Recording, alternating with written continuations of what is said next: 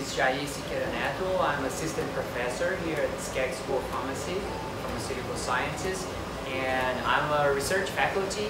My research is focused on drug discovery and development for tropical infectious diseases, uh, especially diseases caused by protozoan parasites like Chagas disease, leishmaniasis, uh, and also some viral infections including Zika virus. So our goal here is to try to come up with new and better treatment for these diseases that affect uh, population, usually in developing.